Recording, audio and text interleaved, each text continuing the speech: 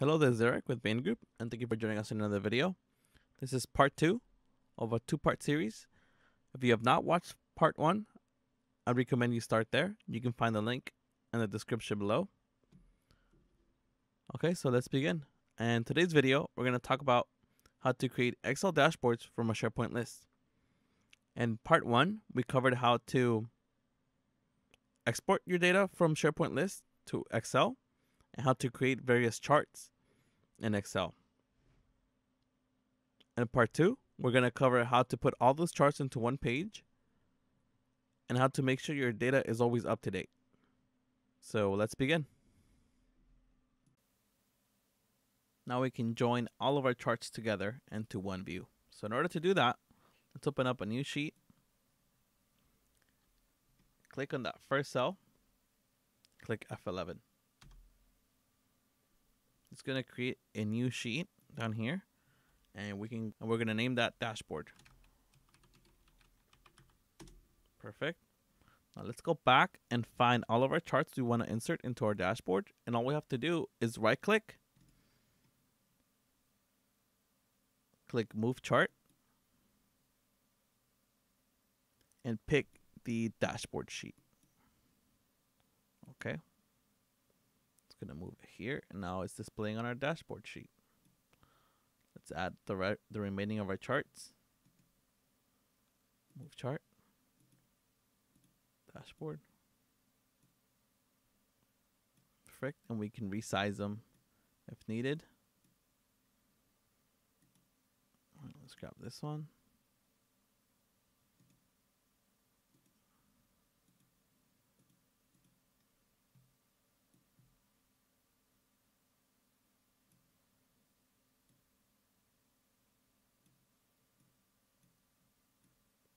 All right, and this is how you create an Excel dashboard driving from SharePoint data. You can save this workbook um, into your OneDrive or a SharePoint document library.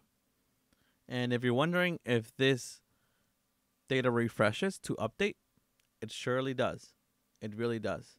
Um, let's try that out. Let's test it out.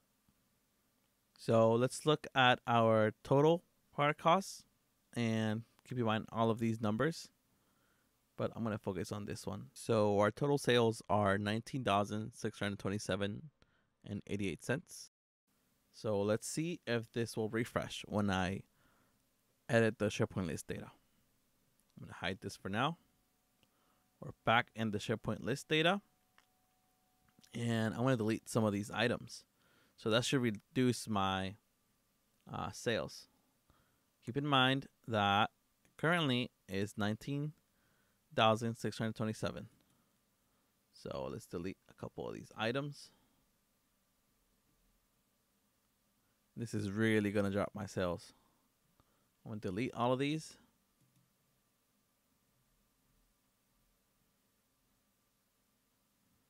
Perfect. We're going to exit quick edit and we're still at 19,000 but all you have to do is click on the data tab and click this refresh button. This is going to grab the data back from SharePoint and update it and it's going to update our dashboards. Check it out. See now our sales have dropped to 6,000 and that's because I deleted a lot of those sales items.